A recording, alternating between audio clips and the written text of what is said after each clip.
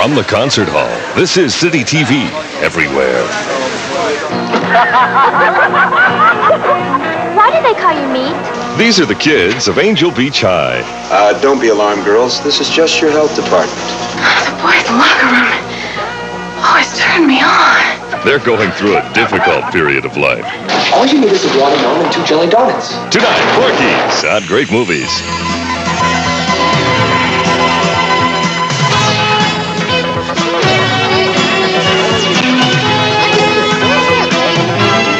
Now, Citytv presents Porky's. We advise you certain scenes contain adult situations.